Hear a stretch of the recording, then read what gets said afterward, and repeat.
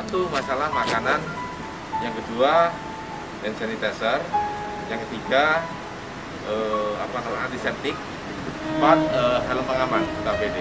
Jadi item-item itu nanti silakan diserahkan kepada Itu bantuan dari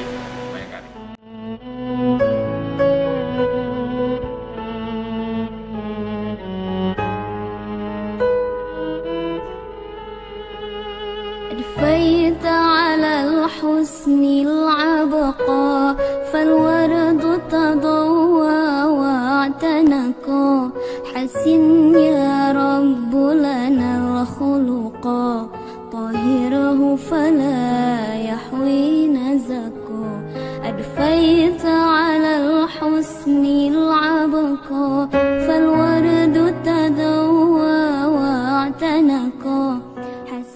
mengucapkan banyak-banyak terima kasih atas bantuan ini.